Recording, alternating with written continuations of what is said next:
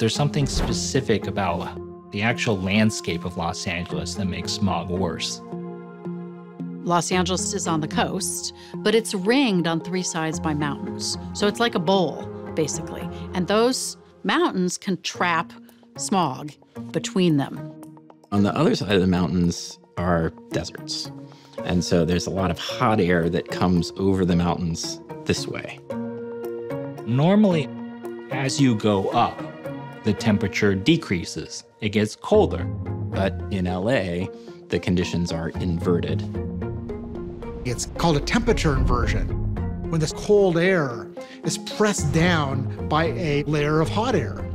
Think of it like a cauldron lid. So you have this sort of toxic soup that often is created underneath because it's trapped and things can't escape. Photos where you're looking at the upper half of City Hall, which is open and clear. And then about halfway down, you just get a thick black cloud all the way down to the ground.